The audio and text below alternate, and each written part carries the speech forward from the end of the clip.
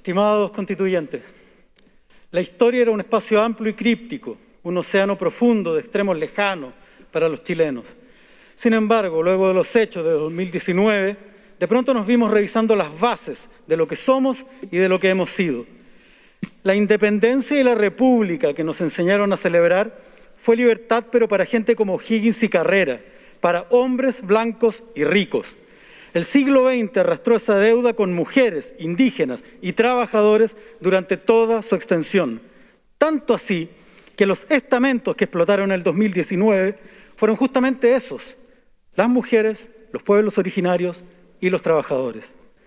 Hoy, en esta convención, tenemos la esperanza de que se pagarán todas esas deudas, todas esas deudas históricas que arrastra la sociedad. Se acerca, compañeros, el garzón con todas las facturas. Porque hasta solo ayer para la sociedad solo existía ese hombre blanco de buenos ingresos y todo el resto eran variaciones imperfectas que había que asistir. Mujeres, mestizos, discapacitados, personas mayores, pueblos originarios, homosexuales y otras minorías, entre comillas. Grupos avergonzados que tuvieron que primero vencer el temor y la vergüenza de ser quienes son para luego enorgullecerse y posteriormente exigir los derechos que les corresponden. Porque descubrimos que no hay tales minorías, que lo que en realidad no existía era ese estándar, esa forma correcta de ser.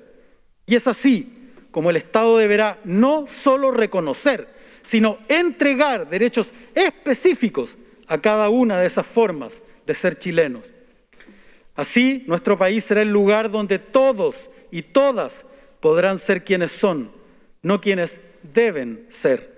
Principio indispensable para alcanzar lo que es el objetivo de todo esto. No el crecimiento, no el PIB, sino la felicidad de cada uno de sus hijos e hijas. Ingresé a la constituyente con la profunda convicción que si bien la base del estallido social era la búsqueda de dignidad a través del reconocimiento de derechos fundamentales, esta constitución iba a fracasar si no incorporaba además mecanismos de participación popular para ir modificando y perfeccionando una sociedad cada vez más líquida y cambiante. Porque si los derechos sociales fue lo que la ciudadanía demandó, fue la inexistencia de herramientas para exigirlos lo que hizo estallar esta olla a presión sin válvulas de escape. Por aquello ingresé a la Comisión de Participación, por ello ingresé a la Comisión de Principios Constitucionales y Mecanismos de Participación, porque creo que debemos darnos las condiciones para construir poder popular y herramientas para ejercerlo, porque no concibo una democracia que solo nos permita marcar una raya en un papel cada cuatro años. Desde ya propongo no solo mecanismos como la iniciativa popular de ley o los plebiscitos, sino también la activa participación vinculante en los gobiernos comunales, para que los vecinos deliberen y generen mandato a sus autoridades y no solo voten por aquello que se les ofrece.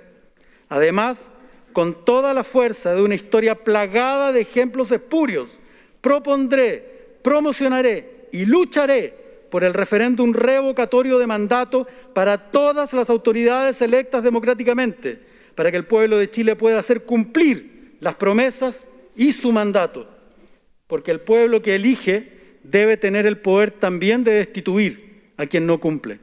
Tenemos hoy el ejemplo vivo de falta de probidad instalado en la moneda, a un presidente con un prontuario tan extenso como el poder económico que lo blinda.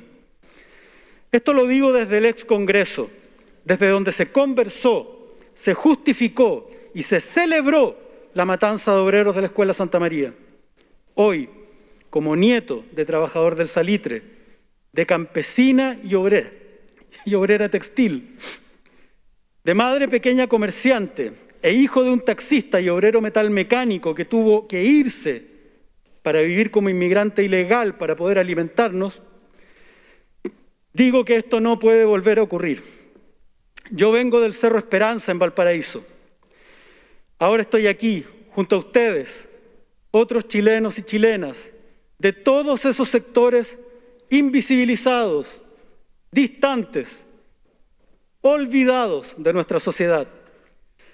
Estamos escribiendo una nueva constitución en un órgano que le quitó de las manos el poder a las élites político-económicas para dárselas a una diversidad nunca antes vista. Somos una generación que no solo ha tenido la responsabilidad, sino el privilegio de tomar los sueños y dolores de generaciones de luchadores sociales para dar vuelta a una página gigante, la del dominio de los pocos, para dar paso a la democracia de los muchos.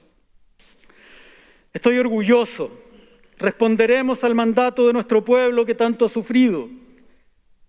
Discúlpenme que le dedique esta posibilidad a Elizabeth Morales Farías, el resumen para mí de todo lo bueno y hermoso de este mundo, y a Gabriel Baradit González, luz de mi vida y que representa todo lo que sueño para cada niño y niña de este país. Estoy orgulloso de mi pueblo, que hace 50 años quiso cambiar no solo este país, sino al mundo, a través de un proceso democrático y pacífico, encabezado por Salvador Allende. Hoy, después de un largo, terrible paréntesis, con las mismas herramientas de la razón, el humanismo y la solidaridad, seguimos porfiadamente teniendo fe en Chile y su destino. Solo que esta vez, compañeros, sí venceremos. Un abrazo.